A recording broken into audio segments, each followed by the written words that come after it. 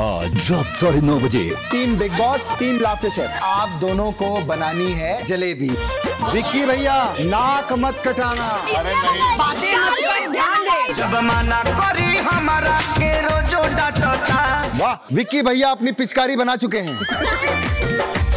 ये कैसी जलेबी है? बग्गा आपका कच्चा। आपने ज़ोर क्यों नहीं लगाया? बहुत ज़ोर लगाया इसलिए ऐसा हो गया। के बाद किसी का ज़ोर नहीं लगता दोस्त तेरा भी नहीं लगता।